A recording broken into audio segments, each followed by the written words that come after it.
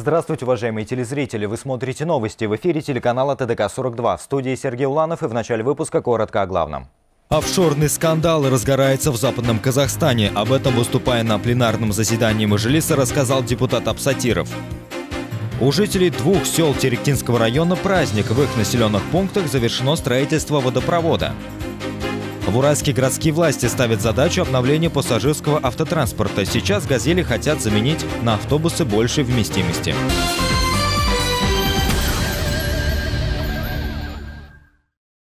Офшорный скандал разгорается в Западном Казахстане. Об этом, выступая на пленарном заседании Мажилиса, рассказал депутат Абсатиров. Все началось с того, что в Уральске один из скоростимеров стал фотографировать водителей даже на маленькой скорости. Когда стали разбираться, выяснилось, что все стационарные скоростимеры в Уральске устанавливает некое ТО «Научно-технический центр. Новые проекты», владельцем которого является компания, зарегистрированная на Кипре, крупнейшей офшорной зоне в мире. В уверены, что правильнее предотвращать незаконный вывод капиталов, чем потом искать похищенные миллиарды и годами ловить мошенников по всему миру. При этом нельзя утверждать, что Уральское ТО вообще не платит налоги. За последние пять лет эта фирма заплатила в общей сложности более 600 миллионов тенге. Учитывая, что некоторая часть прибыли уходит на счета кипрской компании, остается догадываться, сколько на самом деле зарабатывала компания. Так вот, по словам депутата, есть основания полагать, что это ТО выступает лишь прикрытием для офшорных компаний при участии в госзакупках закупках. Примечательно, что клиентами указанного ТО являются департаменты внутренних дел сразу в 13 регионах, что порождает обоснованные вопросы о системном проникновении офшорных схем в деятельность МВД. Депутат привел в пример и прошлые отчеты счетного комитета, согласно которым госорганы закупали оборудование через Маршалловы острова по цене в 3, а то и 4 раза дороже реальной стоимости. Цель таких операций является банальное хищение государственных средств – когда указанная в трех-четырехкратная разница выводится на офшорные счета и остается там в распоряжении коррумпированных чиновников. Помимо этого, депутат Абсакиров предложил провести тотальную проверку конечных собственников всех подрядчиков и поставщиков в системе госзакупок и закупок квази-госсектора на предмет наличия среди них компаний, зарегистрированных в офшорных зонах. В случае выявления таких компаний депутат предлагает поставить вопрос о расторжении таких контрактов. Бауыржан Шаяхмет, Ахмедяр Ильясов, телеканал ТДК-42 из Астаны. Одним из приоритетных направлений развития Западно-Казахстанской области является обеспечение населения централизованной питьевой водой. Работа в этом направлении проводится во всех районах области. Сегодня у жителей двух сел Теректинского района праздник. В их населенных пунктах завершено строительство водопровода. Сегодня завершились строительно-монтажные работы и сданы в эксплуатацию водопроводы в селах Новопавловка и Аксуат Теректинского района Западно-Казахстанской области. В Новопавловке в настоящий момент проживает 705 человек, а в селе Аксуат численность населения составляет более полутора тысяч человек. Ранее люди питьевую воду брали из частных открытых колодцев. Поздравил сельчан с радостной новостью заместитель Акима Теректинского района Виталий Кушнер. Акиматом района в 2014 году разработана проектно-сметная документация на водообеспечение сельских населенных пунктов района. Это села Аксуат, Акжаи, Канкате, Сараумыр и Новопавловка. Э, в 2016 году при поддержке областного акимата Управление строительства и архитектуры Западно-Казахстанской области. Из республиканского бюджета была выделена сумма в размере 778 миллионов тенге на водообеспечение э, населенных пунктов Теректинского района. На реконструкцию водопровода в селе Новопавловка было выделено более 200 миллионов тенге и в селе Аксуат более 140 миллионов. Работы были начаты в апреле текущего года и сегодня водопроводы введены в эксплуатацию. Сельчане рассказывают, что с нетерпением ждали этого дня. Сегодня у нас радостные события. В наше село провели воду. Раньше было очень тяжело, потому что в поселке было всего три колодца. Приходилось таскать воду издалека. Некоторые привозили из города. Теперь у нас не будет проблем с водой. Очень благодарны всем тем, кто принял участие в этом. Это настоящий подарок ко дню первого президента Республики Казахстан. Питьевой водой обеспечены социальные объекты 189 дворов в селе Новопавловка и 270 дворов в селе Аксуат. Сергей Уланов, Нурлан Кунашев, Александр Грабарев, ТДК 42. Сегодня, 29 ноября, во всех университетах, колледжах и школах республики прошел единый час антикоррупционной информации. Иначе говоря, в образовательных учреждениях прошли разного рода мероприятия, направленные на формирование антикоррупционной культуры молодежи. В Уральске борцы с коррупцией посетили Западно-Казахстанский инновационно-технологический университет. Решение о проведении единого часа антикоррупционной информации в университетах, колледжах и школах страны было принято на совещании среди вузов республики, проведенном посредством телемоста. Мероприятие приурочено к Международному дню борьбы с коррупцией, который отмечается 9 декабря. Цель этого мероприятия э, э, формировать антикоррупционное мировоззрение среди учащихся э, школ, вузов, колледжей так как э, это мероприятие проводится э, в преддверии 9 э, декабря, Дня Международного дня по борьбе с коррупцией. Это был принят Конвенцией ООН 2003 году. В ходе антикоррупционного часа студентам, школьникам и педагогам была в очередной раз разъяснена антикоррупционная политика. По Западно-Казахстанской области различного рода мероприятия прошли в четырех вузах, 37 колледжах и во всех школах. Студенты, в свою очередь, отметили важность подобных мероприятий. Я считаю, что такие мероприятия все-таки нужны, и э, они должны более чаще проводиться, чтобы в нашей стране было как можно меньше коррупции Э, и велись, э, велась борьба с ней, ну, чтобы как можно наша страна э, стала лучше, не было таких нарушений. Как отметили организаторы, работа по формированию антикоррупционного сознания у населения будет продолжена. Сергей Уланов, Мирбулат Джигупаров, Александр Грабарев, ТДК-42.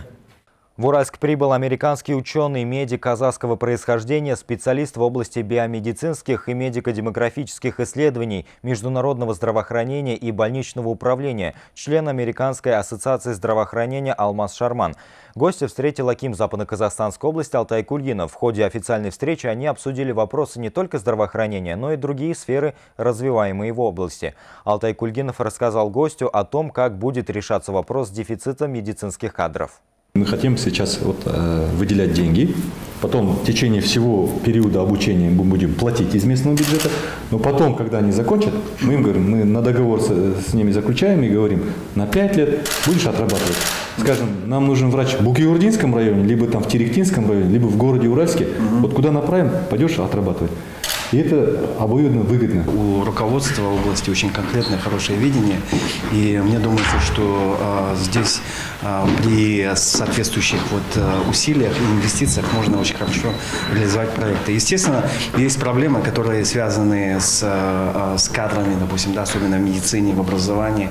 И э, в этом плане, в общем-то, мы обсуждали возможность э, привлечения, скажем, интеллектуальных ресурсов не только, допустим, остальных частей Казахстана, но и привлечение и европейских Выбрать медиатора теперь можно через ЦОНы. Жители Уральска смогут подать онлайн-заявку медиатору в здании Центра обслуживания населения. Заявка поступает в реестр медиаторов. Запись на прием осуществляется к тому медиатору, кто первый принимает заявку. После этого специалист ЦОНа выдает обратившемуся лицу талон с уведомлением, в котором указаны фамилия, имя и отчество медиатора. Последнему можно выбрать и самостоятельно. Судья отмечает, что количество рассматриваемых дел увеличивается из года в год, но благодаря использованию услуг медиаторов все чаще стороны приходят к примирению. Выбрать медиатора теперь можно через ЦОНы. Жители Уральска смогут подать онлайн-заявку в здании Центра обслуживания населения. Заявка поступает в реестр медиаторов. Запись на прием осуществляется к тому медиатору, кто первый принимает заявку. После этого специалист ЦОНа выдает обратившемуся лицу талон с уведомлением, в котором указаны фамилия, имя и отчество медиатора. Последнего можно выбрать и самостоятельно. Судья отмечает, что количество рассматриваемых дел увеличивается из года в год. Но благодаря применению медиации все чаще чаще стороны приходят к примирению. Мы ожидаем, что в ближайшее время граждане станут активными пользователями нового электронного сервиса и разрешать конфликтные ситуации во внесудебном порядке с помощью услуг медиаторов. Доступ к медиации через ЦОН – один из самых упрощенных. С 1 января 2018 года планируется вывести портал на уровень общего доступа всех граждан, то есть на сайт. Зайдя по ссылке, пользователь сможет ознакомиться с материалами о медиации, посмотреть список медиаторов, график их работы, отзывы, опыт работы медиатора и прочую информацию. На сегодняшний день в Уральске действует свыше 100 кабинетов медиации. Специалисты-медиаторы – лица не заинтересованные, поэтому они объективно рассматривают проблему, оценивая ситуацию со всех сторон. Медиация применяется по спорам, конфликтам, связанным с трудовой деятельностью, возникающие из гражданских, трудовых, семейных и э, иных правоотношениях с участием медиатора и э, сторон судопроизводства. Профессиональный медиатор – это специально подготовленный специалист, который отвечает за процедуру медиации и помогает конфликтующим достичь соглашения. Решение может быть найдено в короткие сроки – от нескольких часов до нескольких дней. При этом затраты минимальные. Экономия средств по оплате работы юристов, времени, также нет необходимости тратиться на судебных исполнителей. Далее в выпуске мы представим вашему вниманию не менее интересные события в специальном видеообзоре. В сети появилось видео из Атраусской области, где десятилетние мальчики разгружают грузовой автомобиль и носят 50-килограммовые мешки с мукой. Автор видео пояснил, что снял это видео в сентябре в поселке Жанбай в Атраусской области, в 150 километрах от города. Приезжал по торговым делам разгружать товар в магазин и увидел, как эксплуатируют детей. Не знаю, были ли это дети хозяев магазина или чужие, но там стояли взрослые, которые наблюдали и приказывали им, пояснил отправитель. Казнете опубликовали видео, на котором запечатлен разгон участников беспорядков в Шимкенте. Видеозапись появилась в Facebook, пользователи которого сразу начали строить предположения о происходящем. На кадрах видна стена из полицейских щитами, которые разгоняют мужчин с деревянными палками и бутылками. В руках одного из разгоняемых плакат, надпись на котором содержит требование снизить цены на газ и бензин. Кроме того, слышны автоматные выстрелы. В ДВД пояснили, что происходящее в ролике – учение полицейских. Это тактические учения и отрабатывалось, как в реале должны вести себя полицейские. Вспомните события в Жанаузене, тогда люди не знали, как действовать, заявили в полиции.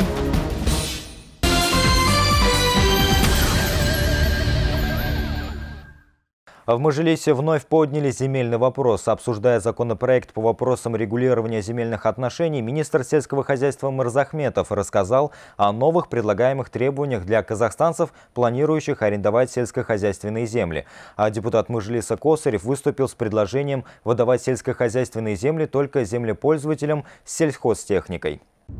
Пресловутый земельный кодекс в свое время стоил Имангалита Смагамбетову премьерского кресла. Напомним, поправки в земельный кодекс вызвали большой резонанс в обществе. В ряде городов прошли митинги, протестующих против сдачи в аренду земель иностранцам. Ведь для достижения целей они могут пойти на создание местных товариществ качестве учредителей взять этнических китайцев, давно осевших в Казахстане. По словам Первашева, во избежание таких проблем следует исключить права аренды земель для компаний из стран, имеющих общие границы с Казахстаном. Например, ограничить э, право э, аренды земли, не только собственность, но и аренды земли э, компаниями и лицами значит, государств, имеющих прямую границу с Казахстаном. Вот. Но э, определенное решение, может быть, э, э, так и так сейчас принимается о том, чтобы в приграничных территориях не, не выделять землю. Я здесь думаю, что можно подойти э, и по-другому, то есть именно не выделять самим компаниям и гражданам приграничных государств.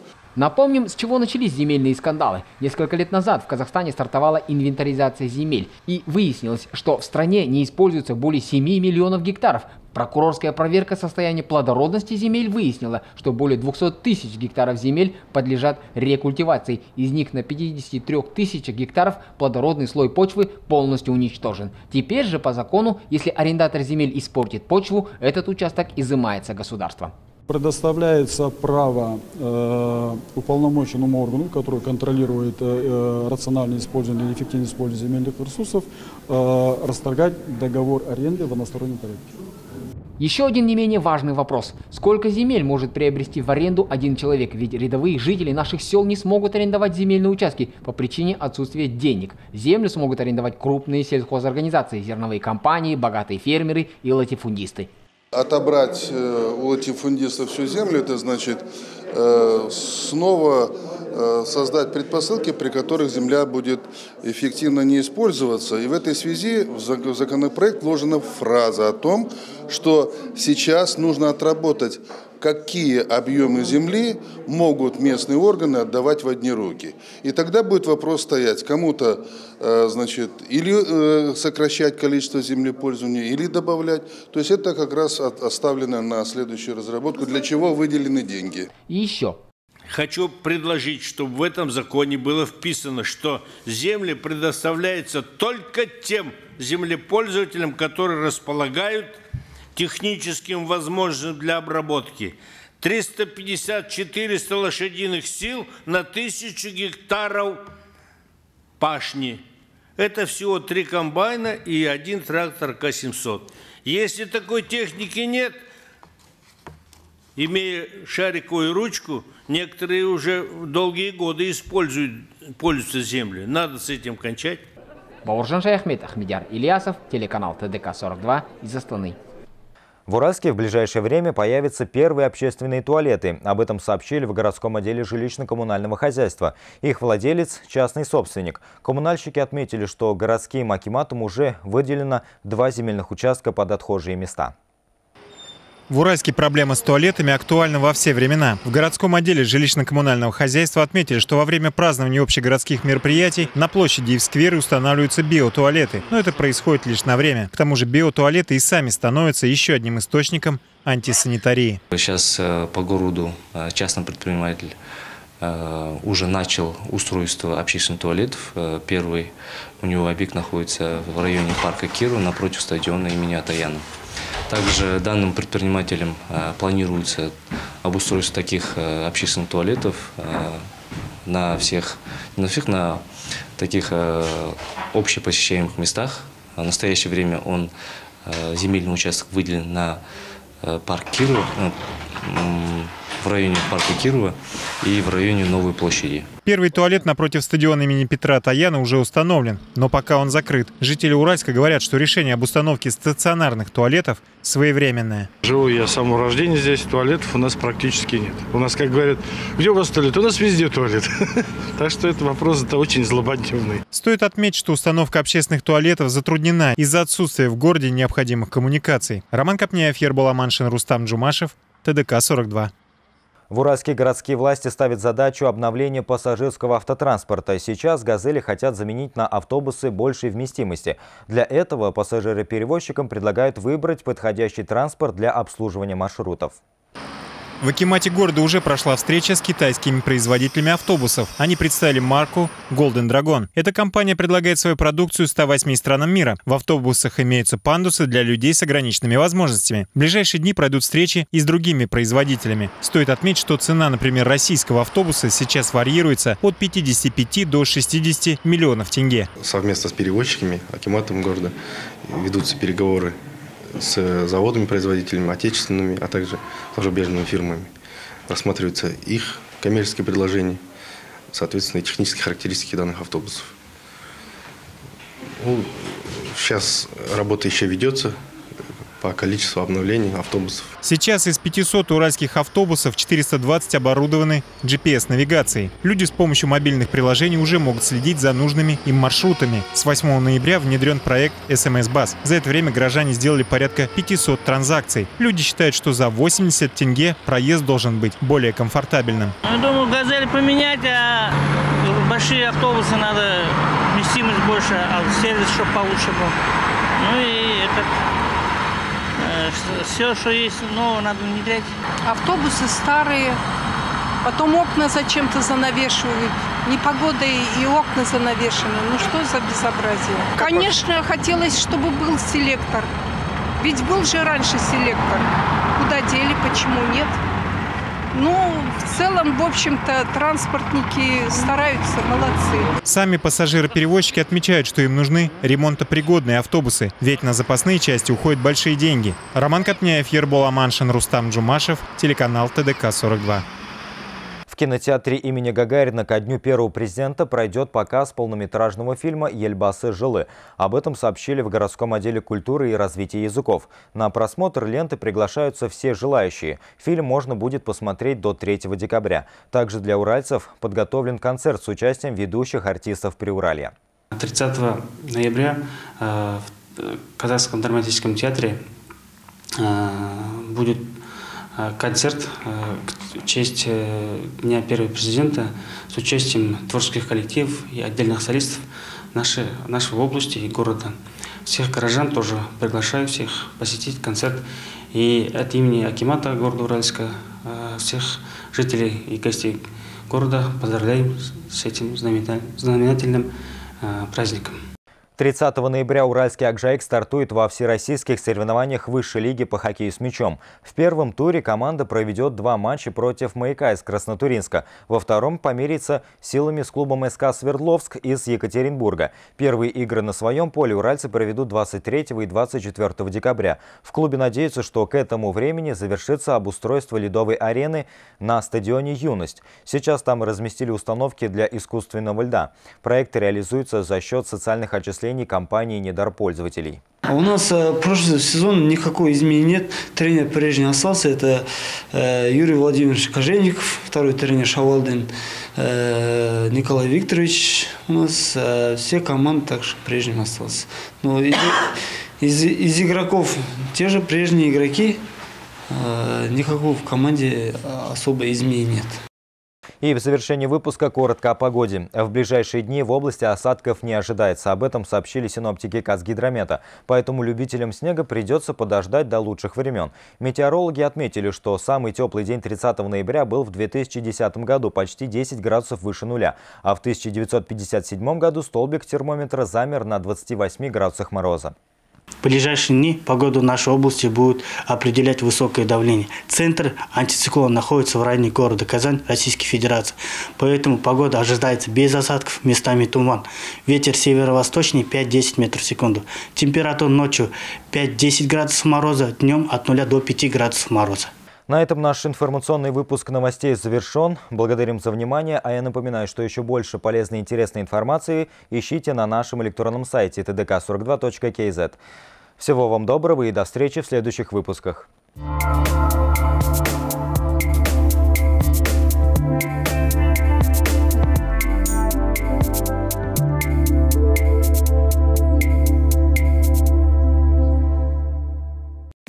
Спонсор прогноза погоды – магазин «Дом жалюзи». «Дом жалюзи» – мы создаем красоту вашим окнам. Наш адрес – город Уральск, проспект Евразия, 87, напротив горвоенкомата. Телефон 26 94 42.